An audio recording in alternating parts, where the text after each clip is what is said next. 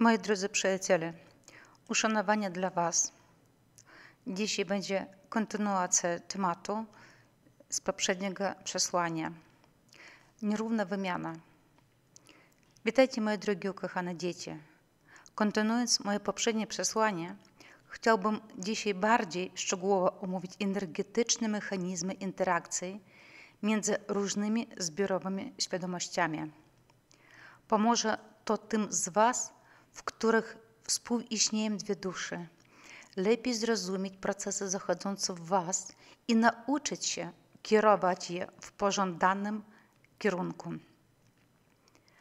Rozważmy to na przykładzie najbardziej znaczącej zbiorowej świadomości Ziemian ludzi i reptilian. Te dwie zbiorowe świadomości pozostają w ciągłej interakcji, jednocześnie oddziałują na siebie. Dlaczego to się dzieje? Przede wszystkim dlatego, że przyplątają się ze sobą od tysiącleci. Stało się to niezauważalnie, ponieważ krzyżowanie ras reptilian i ludzi doprowadziło do tego, że na Ziemi pojawiła się ogromna liczba nie tylko mieszanych rodzin, gdzie czyste ludzkie dusze współistniały z rasowymi gadami, ale także do tego, że dusze te nauczyły się współistnieć nawet w jednym ciele fizycznym.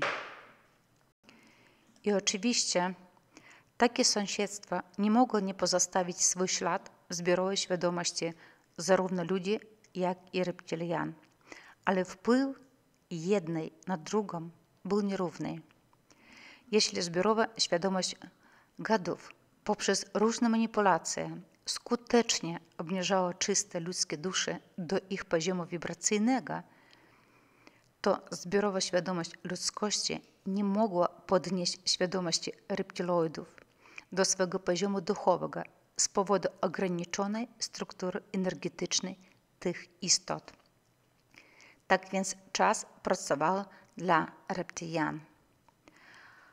Oni coraz bardziej i bardziej wpędzali ludzkość w niewolę do własnego świata o niskich wibracji, w którym mogli łatwo zarządzać ludźmi, ustanawiać nad nimi całkowitą kontrolę.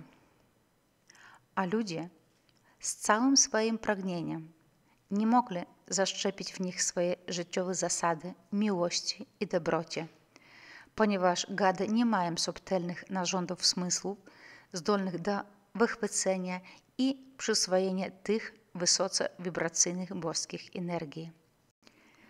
To jest właśnie główny powód, dla którego zbiorowa świadomość reptilian do tej pory triumfowała nad zbiorową świadomością ludzi.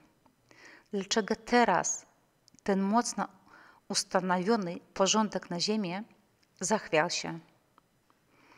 Jak ludziom udało się wydostać się spod wpływu tego potwora, który rządził światem przez tyle wieków?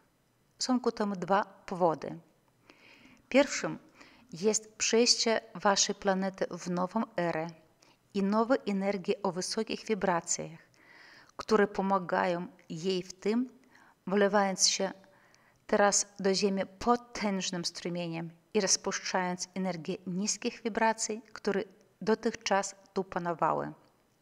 Drugim jest przyjście na Ziemię ogromnej liczby najstarszych i najjaśniejszych dusz, jakie kiedykolwiek tu żyły, z misją ocalenia ludzkości z niewoli i pomocy w przejściu na nowy poziom jej rozwoju. To oni tak mocno wstrząsnęli zbiorową świadomością ludzkości, że tysiące ludzi zaczęły się budzić i wychodzić spod wpływu trójwymiarowych programów, już mocno zakorzenionych w ich świadomości i podświadomości. Ta sama apokalipsa nadeszła na Ziemię, o której tak wiele zostało powiedziano w świętych księgach, a która w rzeczywistości reprezentuje ujawnienie prawdy, zdjęcie osłony z przestępczych czynów cywilizacji wrogich ludzkości, które opanowały Ziemię. I teraz w zbiorowej świadomości ludzkości i gadów ma miejsce potężna energetyczna konfrontacja. i polega ona na tym, że energie o wysokich wibracjach emitowane przez ludzi, którzy obudzili się z wielowiekowej ciemności, wyciskają z planety Ziemię zbiorową świadomość reptilian, która nie jest już w stanie istnieć w nowych realiach Ziemi, powoli, ale pewnie wchodzącej w przestrzeń czwartego, a potem piątego wymiaru. Na tym dzisiaj zatrzymamy się. Ojciec Absolut, który Was bezgranicznie kocha, przemówił do Was. Przyjęła Marta, czytała Irina.